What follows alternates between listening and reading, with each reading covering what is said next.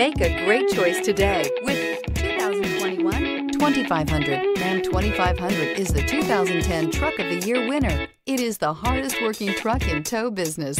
This vehicle has less than 100 miles. Here are some of this vehicle's great options.